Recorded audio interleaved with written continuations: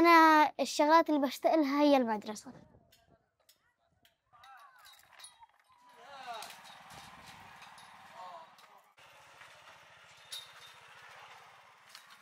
مبسوطة عشان بديت أرجع على المدرسة. بدرس عربي بدرس حساب بدرس علوم بدرس أنشأة.